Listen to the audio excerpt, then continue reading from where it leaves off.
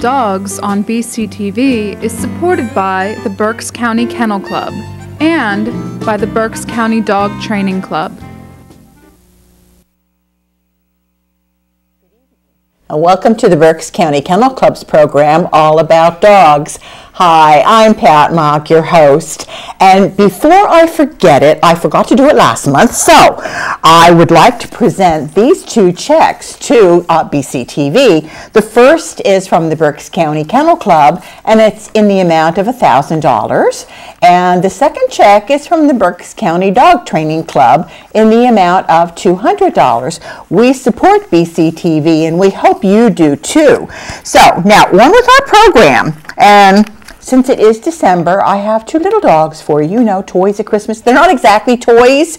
They're both in the non-sporting group, right? Toy group. It, oh, he is in the toy group. Oh, okay. Wow. Okay. He's bigger than he is, and he's in the non-sporting. But uh, the non-sporting group of the AKC is just they.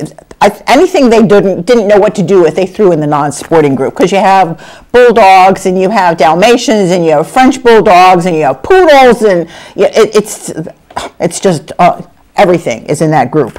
So anyway, we're going to, to uh, my guests. My guests this evening are Michelle O'Callahan, and she has the Skippy. It's a Schipperke.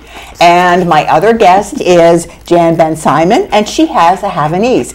These are basically two dogs that I haven't had on my program at all before. Well, the Havanese I did many years ago before it was recognized. That's how long ago it was. So anyway, we're going to talk to Michelle first and find out all about a Schipperke. So, what is it? Schipperke is a little Belgian breed. Um, they became popular in Belgium in the late 1800s. Oh. Then they became more popular in England after that. Uh-huh. And they then, I can't tell you exactly the year they were recognized in the American Kennel Club, Mm-hmm. but they are American Kennel Club, and like you said, non-sporting group, and we usually get to see, oh, and there goes the Schipperke. Oh, Um, I have one of those breeds too. They do, too, right. They don't get the attention they need, our Belgian breeds. So, um, their nickname is Little Black Devil. They are curious, independent, incredibly loyal, and if you think of a whirling dervish, that's what a Schipperke is. Oh my word. Okay. Yes. So it's a high energy dog. High energy dog, not for everybody. Okay. When people tell me, oh, he's so cute, I should get one. Mm-hmm. So here's my number, please call me and borrow him. If you can make it through a weekend, then get yourself a Schipperke. If you can make it through an hour, huh? Exactly, yeah, if you don't emerge, immediately call me back. Yes, yes. But I wouldn't have any other breed. He Really? is the best. He's Okay. therapy dog, he has a couple rally titles, and we only made it through our beginner's novice in Uh-huh. obedience because I'm not obedient enough to do the training. Right. He's, right. And he's that's, fine. That, right. That's what it amounts to. So what actually were they bred for? There are two. likes to um, get off. Yeah, He's he too does. hot. There are two oh my goodness! You got caught in mommy's dress. I'm very sorry. Can you sit? Can you show us down? No. All right. Um, What's that? there said were- independent, didn't you? I did say independent, and I will do it my way. There are two schools of thought. They were thought to be boat dogs, barge dogs in Belgium. Uh, they have a tenacious urge uh, to go after small prey, rabbits, Okay. rats. They, um, we don't want any of them near us, do we, Guinness? Um, and then the other school of thought is that they were miniaturized down from the breed called a Leuvenaar, which there was a Groenendael, and you know the Tervuren, and there's Belgian sheepdogs. So he most looks like a puppy of a Belgian sheepdog, Okay. Uh, just without the tail. And Right, right. Yes, he does. You Yeah. know, the stand-up ears and, and the black, although he doesn't have the coat of a, of a sheepdog, of the Right. Belgian. But, yeah, yeah. So- So they, they actually, at any point, were used for herding? They herd, but they weren't herding dogs. Okay. But I've had him in the ring Uh-huh. with sheep, Uh-huh. and he can herd. Yes. In fact, he can get a little too close to the back of the sheep and think that he can latch on. them. Yes. Mhm, So, but yeah, you were very good at that, weren't you? Yeah. Yes. It's one of the, uh, well, you think of a, of a corgi, and the corgi, of course, the corgi is considerably larger, but the corgi also, you know, is a herding dog, and you think, man, it's so low to the ground, but it too, and, and it's it's a wonderful cattle breeder, a cattle herder. you Keeps know. him moving. Yep, They don't stop. That's exactly right. That's exactly right. So, um, they're, they don't seem to be very popular any longer. You were talking about their popularity. Yep. And they, they just don't seem to be as popular now. And I don't really know why. I think it's because of their breed, just because of the, the their personality is very strong. It Okay. is a massive personality crushed into a tiny little body. Uh-huh. And I find that Schipperke lovers love that independent nature, this carrying on, I'm going to fool around right now, I'm going to make noise because mommy's talking. Mm-hmm. Uh-huh. And that's not for everybody to, to have this going on and stealing the show. You I, I guess you walk in here and doing those little earths. yeah, he's performing. Um, they, they really are not a breed for everyone, but once you have a Schipperke in your life and in your heart, it's really hard to have another breed. Mm-hmm. So, oh, yes. Yeah. Oh, now we're going to perform. Oh, my goodness. So, you, you have to tell the audience how old. oh, yes. Guinness is 13 and a half years old. And if the, if the dog is healthy, the breed lives up to about 20. Oh my word. wow, that's wonderful. Absolutely. The oldest we heard was one Schipperke lived to 26. Oh my God. Yes. That's amazing. That is amazing. But this is a lot of energy for a 13 and a half year old. Yes. Yes. He walks approximately seven miles a day, still hikes on the weekends. The only thing we don't do is shows anymore, any of the competing, because that's a little bit too much Mm-hmm. Right, stress. right. Yeah. Oh, we're going to perform. and at his age, he doesn't need to perform anymore. he doesn't. but, but he wants, he definitely wants your attention. yes. so they are easy to train, or they're not easy. Absolutely not. Really? No, no, not at all. I think with, mm, hold your ears, Guinness. When we have our next Schipperke, I will have learned a lot Uh-huh. from having him. Okay. Um, but once he learns something, he's sticking with it. It's really hard to change once he's learned a behavior. So, right, okay. someone skilled like yourself, more skilled than I, you tend to have better luck with him because apparently I'm a real softie. so, the dogs take off. But I think that happens a lot with people with smaller dogs. yep. You know, they, they just, let's face it, you can pick them up and carry them where you want them. They don't have to walk there. No. But you know, you're not going to pick up a 60 pound dog. So that's why people with bigger dogs, you have to train them. Right. But a little dog, you pick up and carry away, and you know, everything's taken care of. You're absolutely right, and he gets he gets that all the time, don't you? In fact, Mm-hmm. let's pick you let's pick you up right now. There we go. See, we I don't wanna. pick you up. I don't want to, mommy. Let me down. Yes, that's exactly right. So Or, or I can have a cookie. you can have a cookie. How's it? Oh, very Now, good boy. how many colors do they come in? In the U.S., the only breed standard color would be black. Uh-huh. However, there are non-conformation ones that come in cream. They can come in a dark brown, and I've even seen the coolest colored one is a black and tan, where there'll be black on the top half, and there's like a midline, and below that is tan.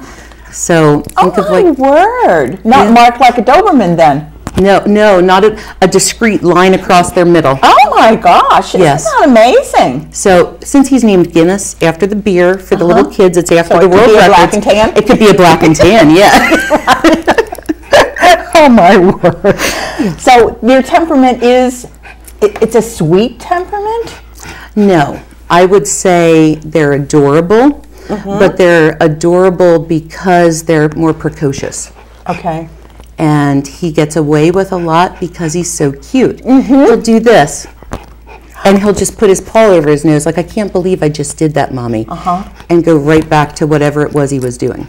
Oh my word! Yes, You're a little character, aren't you? he is. And and this is part of the breed. This is part of the breed. Wow. I um, found a Schipperke Club down in Virginia called the Colonial Schipperke Club, Mm-hmm. and I figure it saved our first year together because I thought I was going crazy. I grew up with dogs that were hunting breeds. Okay. So I was used to dogs who retrieved Mm-hmm. and who wanted to do what you asked them to do. Uh huh Throw a toy for Guinness, he gets it, and he comes back and he stays arm's length away from you, holding the toy, daring you to reach for it so he can run Mm-hmm. out of reach. Well, of course, so you can chase them. I mean, Exactly. what better game is there than the chase game? That's the Schipperke version of retrieve. Mm-hmm. Yeah. Yes, isn't it? What are you watching up there? He's watching the TV. Oh, oh, okay. Don't tell me he sees a fly up there. No, no, no. Now, with with the shorter coat, does Mm-hmm. it need a lot of grooming? No, very lucky with that. He does shed a lot, Uh-huh. and he gets about one bath a month, but it's not a groomer experience. It's in the bathtub. Okay. Um, I brush him usually about once a week, and he needs his nails done about once a month. Mm-hmm. Okay. Those I won't do because the nails are black, Uh-huh. and I can't see the quick. Okay. So okay. ears cleaned and teeth brushed every day. Right. Yes. That's the grooming routine. Well, that's, that, that's good. That's good. That's not too bad. right. That's exactly right. I thought, you know, with the undercoat, you might have more. Do they No. do they go through a seasonal shed? It's 365 days a Oh, year. okay. Yeah. It's, right, uh, okay. He will blow his coat twice a year, though, where you start to see the, the gray, Gray come out, out, yeah. and then you just touch it and you come out it right out. Mm-hmm. Yeah, you pull it right out.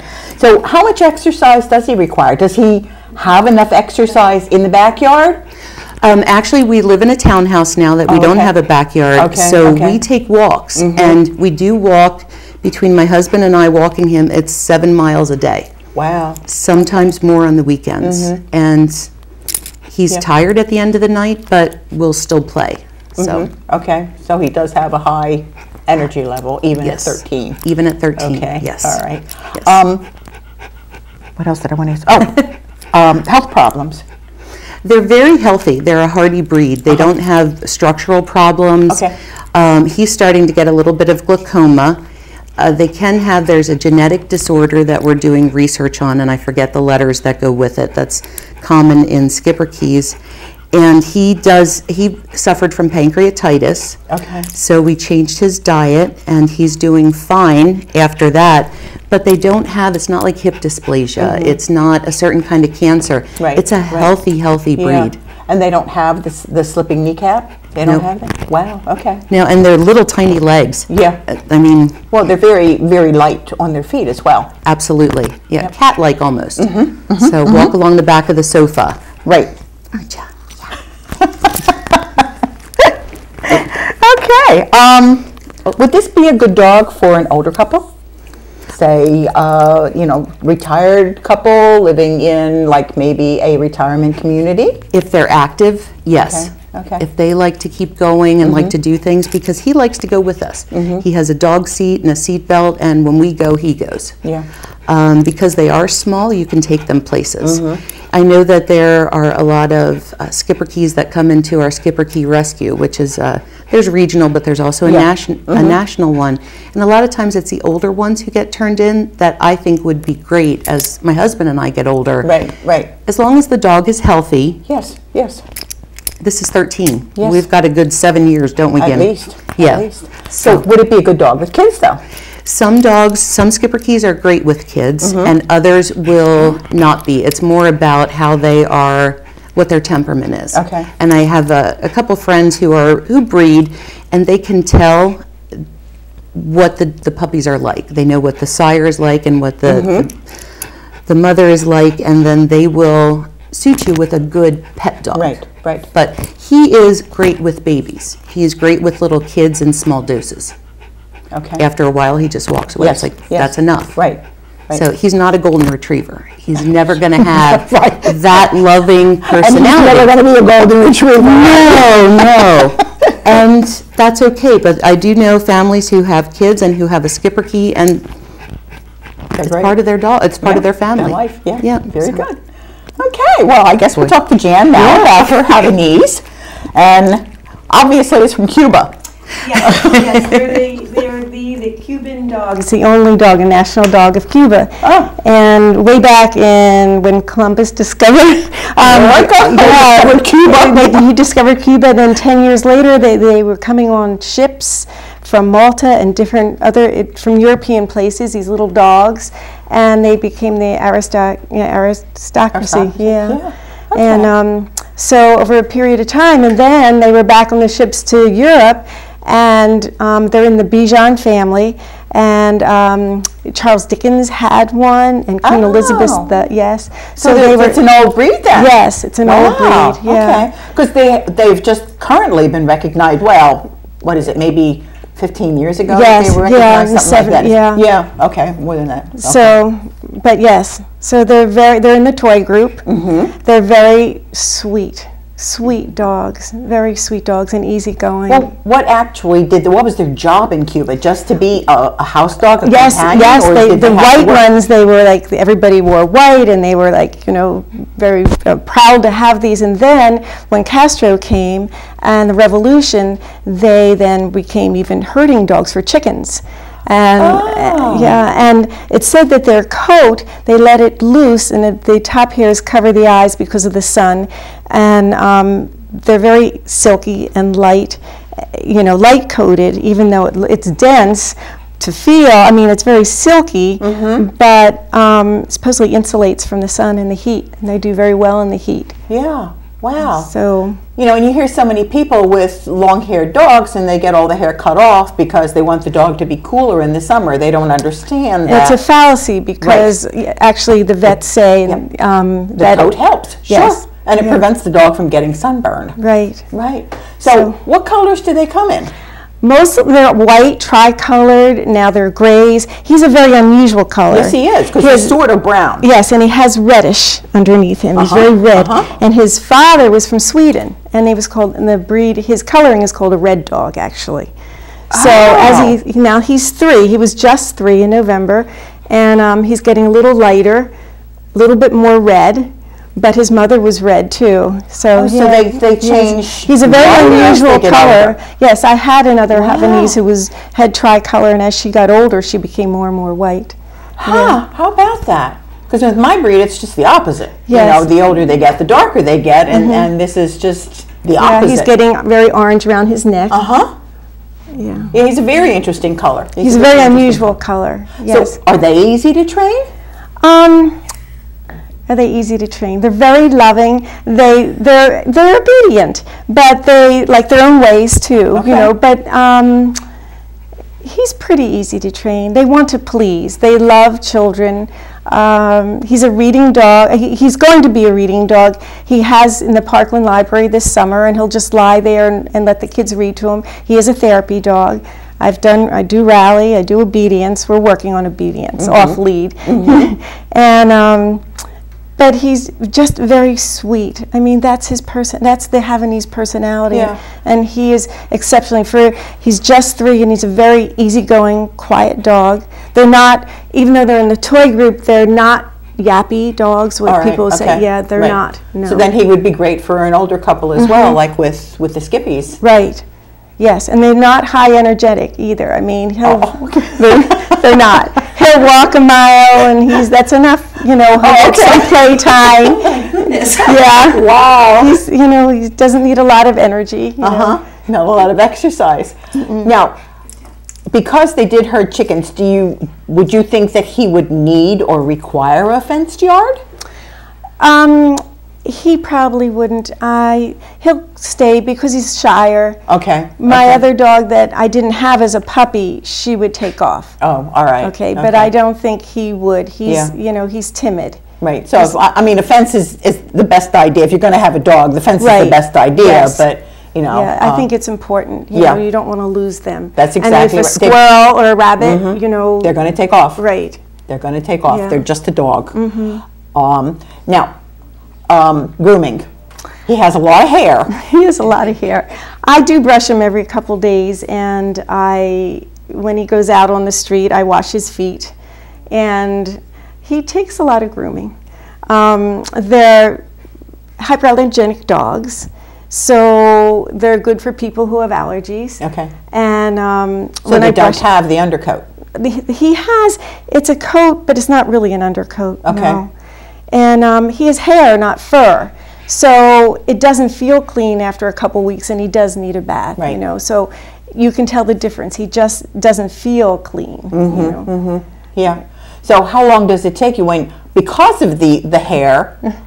His, it doesn't take me long to bathe him it takes me five eight minutes to bathe him and i put a cream rinse on too and then it takes me Mm-hmm. Forever of to hours to brush Yeah, him. that's and exactly brush right. him, Yep. and then the next day I brush him some more, and the next day, you know, and every day, every couple days I brush him. Right. Right. Yeah. And, and you have to because I'm sure that coat would tangle. Mm-hmm. It Yeah. would tangle and get all ratted up. And I use a conditioner. Yeah, yeah. And he really is a lap dog. He just wants to sit on the lap, really. Mm-hmm. Is, is that typical of the breed?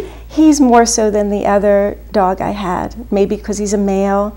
Yeah, I, I sure. think the males are sweeter. Yes, They- and and I, I always have had females. And when I asked the um, breeder, she said the females are the females are bitches, Yeah. and the, and that's what they are. That's and, exactly you know, the female dog, and he says the females will be 12 weeks old and growling at each other, and the males were just passive. Mm-hmm. And Yeah. so he's my first male dog, and he's very Oh, easy. okay, okay, Yeah. yeah, yeah. The boy, the boy dogs are are sweet. The boy dogs are sweet. They want to be with their mommies, you know.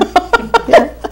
they come from their dog mommy to their human mommy, and and there again, you know, you don't really need to train him because uh, he's a small dog. You pick him up and carry him wherever you need to go. And he's great with kids. He's- Very But. I think of all breeds, they have to be socialized. Mm-hmm. And I think people, even with small breeds, don't socialize them enough. Right. And they, it's very important to take them out and have them socialize between three months and Yes, yes. 13 months. Right. You know, 14 months. Right. And that's a big difference. And I think people make a mistake by not doing that. Right. And and I get a lot of times that people with smaller dogs will say, "Oh, well, he's protecting me when I'm holding him. He's protecting me."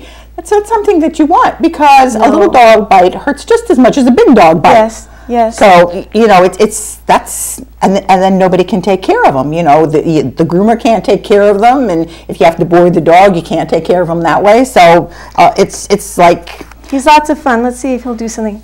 Miso. Do they have any health problems? Um, knees supposedly, but they're Okay. bred out. You So up, wave, wave. Come on, wave, wave. Good boy. Down, down. Good job.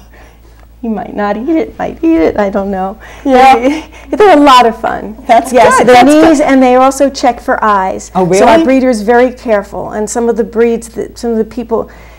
Actually, she wouldn't let me have his papers till he was neutered for Oh, obedience. Okay, okay. So she's All very careful. Yeah, yeah. And a lot of breeders do do that. They, you know, if, Mm-hmm. And that's if it's being sold as a pet, they don't want them bred. Right. They don't want them bred. Right. Plus, pet people really don't know what they're doing. You know, they don't have the the connection with like, the- and the understanding, and sometimes they don't. I mean, if your eye, your knee, eyes aren't good and your knees aren't good, then you shouldn't be breeding. Right, So right. That's exactly right. Mm-hmm. Because you're just passing that on to somebody else as well. right. Right. So why did you get this breed?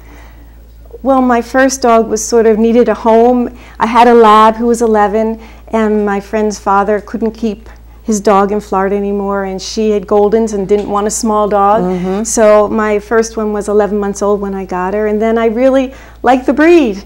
So I decided I'd look, and I wanted a puppy. So Uh huh. Very what I- good. yeah. Very good. And why did you get a Skippy? I wanted a smart, independent, loyal dog that was smaller in size and very healthy. And I got exactly what I bargained for and more. Very good. Yep. Very good. So that's that's that's great. You know, and and you know you you you get a dog and it's like, well, I, this is what I want. You don't just go out and get a dog. You you find something that's going to fit your lifestyle. And if Right. it's not fitting your lifestyle, you are not going to be happy with it. And definitely do not get a puppy for Christmas. It, it's you know I know Norman Rockwell and the puppy in the box and uh, yada yada yada yada and it's it's not that way. Moms, you're going to have to not only be doing the cooking and the cleaning and taking care of the kids, you're going to be running around after a puppy because the kids are not going to. They're going to have other toys. They're not going to be totally interested in the puppy, and when it has to go out, you're going to do it. You're going to do it, or you're going to be cleaning up the floor. So if you want to present a puppy for Christmas, buy a dog bowl, a book on the breed that you're going to get, uh, a leash and a collar, and then go as a family and select the dog. But don't get a puppy. It's, it's just way too hectic, way too hectic to get a puppy at that point. So, you know, think about it. Um, it it's not, it, it seems cute, but it's not going to end up being cute, especially when the puppy is into everything and you don't have time to watch them. So, uh, I guess that's our program for this evening. So we will say good night. Good night.